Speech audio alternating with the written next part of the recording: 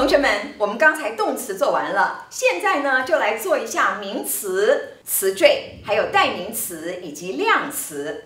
首先，我们看看这篇文章里的名词、词缀有哪些。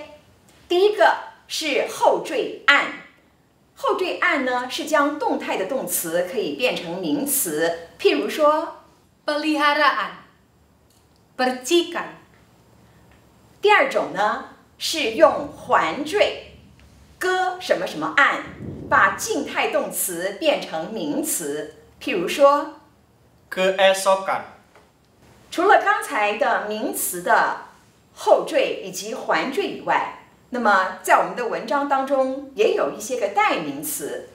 现在我们来看一下人称代名词，这里呢有只有几个人称代名词在我们的表格当中出现，所以我特别要提的是嘎木跟高。这两个基本上是因为说话的对象你，对我而言你是地位比较低的，或者你的地位跟我是平的，而且我们关系很密切，所以我可以这样称呼你，嘎木或者是高。那另外在这个里面也有单数的第三人称，有伊呀或者是迪呀主格，还有属格什么什么酿，受格什么什么酿，另外是复数的。全部都是 Malayga。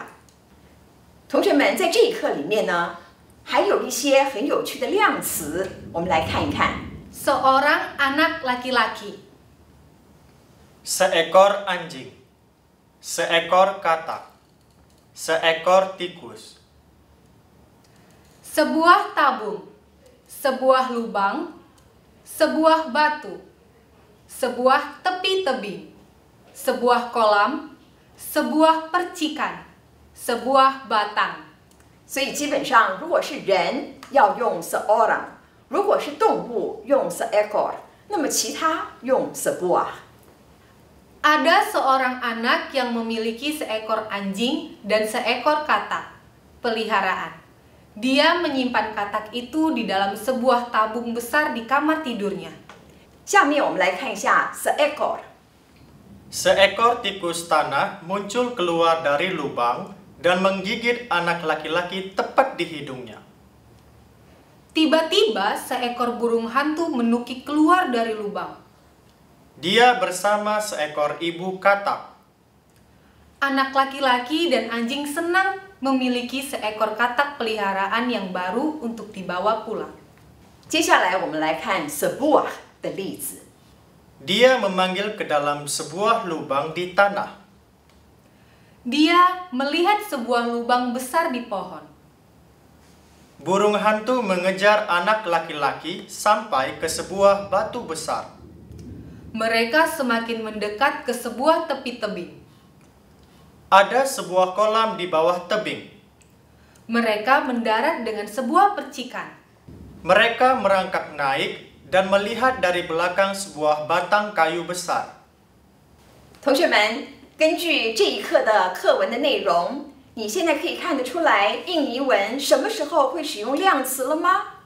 印尼语的故事当中，如果你第一次提到某一个人或是某物的时候，就会使用量词。那么这个人或者是物，接下来我们还有机会继续的来提到它。所以第一次出现的时候，要用量词来把它介绍出场。我们来看这两个例子。Ada seorang anak yang memiliki seekor anjing dan seekor katak peliharaan. Dia menyimpan katak itu di dalam sebuah tabung besar di kamar tidurnya. 所以你看，这里一开始介绍了那个小男孩，还有那只小狗，还有那只小青蛙。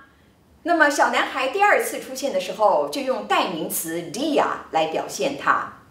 那么小青蛙第二次出现的时候，就用 gada 一读那只小青蛙来代表它。在这里面还有一个东西出现，就是那个罐子。所以罐子第一次出现的时候，用 sebuah 大布第一次出现。第二句，Suatu malam ketika dia dan anjingnya sedang tidur。Katak memanjat keluar dari tabung. Dia melompat keluar dari jendela yang terbuka. 所以同学们，你看前面那一句我们已经讲过了，介绍了这三个呃角色出场。那么现在在第二句里面再次提到他，所以这时候就是那个小男孩是用 dia，安金娘他的小狗有代名词 nia，然后那个青蛙这时候就是 gadak，就是用青蛙。所以你看，还有下面那个罐子，一开始的时候有一个罐子，到了这时候呢，只是写罐子大泵。那还有呢，下面又是用代名词青蛙。这时候用代名词 dia 来代表它，所以老师说了，印尼语的故事如果第一次出场的时候就要说 seorang anak，接着第二次就是 dia，接着在下面呢就是 nia。那么那只小狗一开始的时候是 seekor 安静到了后面呢就是它的小狗 anjing nya。那个 seekor Gada，一只小青蛙，第二次出现的时候就是 gadak itu。第三次出现就是他 dia，第四个就是 sebuah 大泵那个一个罐子，到了第二次出现就直接说大泵，所以大家了解量词怎么使用了吗？